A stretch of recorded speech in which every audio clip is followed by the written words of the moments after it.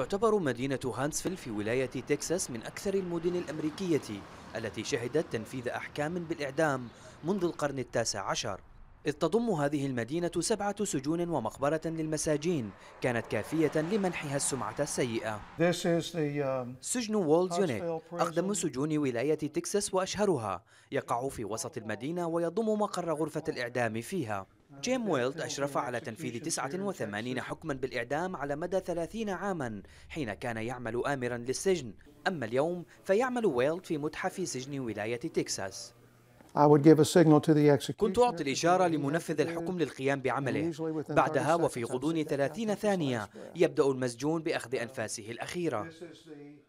هذا الكرسي الكهربائي والذي يعرض اليوم في متحف سجن الولاية. كان المسؤول عن مقتل 361 سجينا. ويقول جيم أنه وعلى الرغم من إشرافه على أحكام بالإعدام أكثر من أي مأمور سجن آخر في الولايات المتحدة. إلا أن الكثير من الشكوك كانت ولا تزال تجول في خاطره حول مدى صحة تطبيق هذه العقوبة. فكرت كثيرا بمدى صحة أو خطأ هذه العقوبة. ولم أصل إلى أي نتيجة. لطالما شعرت بأنني لست أكثر من مسمار في عجلة ضخمة. كنت أقول في نفسي إن منفذ الإعدام هو من يتحمل المهمة الأصعب ولكن العبء نفسه يقع على القضاة بالتأكيد لا أتمنى أبدا القيام بوظيفتهم. وفي العام 1965 تحولت ولاية تكساس إلى استخدام الحقن القاتلة في تنفيذ أحكام الإعدام إلا أن بعض الدول مثل دول الاتحاد الأوروبي والتي تمنع تطبيق هذه العقوبة تفرض حظرا على تصدير الحقن القاتلة غير أن تكساس لا تزال تملك مخزونا كافيا منها.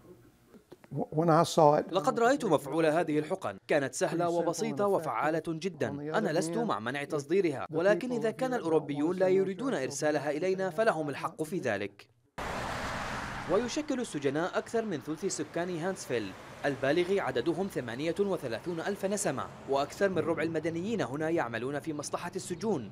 ولكن هناك من هم مثل القسيسة شيريل التي تعارض القتل الذي تقره الدولة. لا أستطيع أن أتخيل أننا نحقق أي شيء عندما نعاقب القتل بالقتل. في السابق لم أكن أعطي هذا الموضوع أي أهمية ولكن العيش هنا جعل من المستحيل علي أن أتجاهل ذلك. السجناء المحكوم عليهم بالإعدام هنا ينتهي الأمر بهم في مقبرة سجن هانسفيل حيث يتميزون عن غيرهم حتى في موتهم بعلامات توضع على قبورهم لتظهر أنهم أعدموا.